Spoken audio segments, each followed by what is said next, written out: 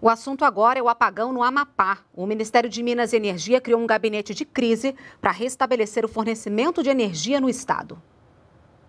Um incêndio em dois transformadores da subestação da capital gerou o apagão que atingiu 14 municípios e 85% de uma população de 900 mil pessoas que vivem no estado.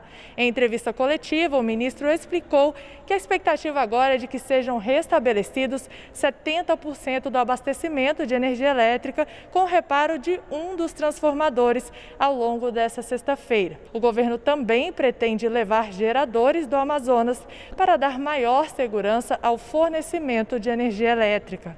Nós vamos instalar em Macapá uma geração termoelétrica por meio de geradores que serão transportados também com auxílio da Força Aérea Brasileira, e isso vai assegurar o restabelecimento gradual da carga total de Macapá nos próximos dias.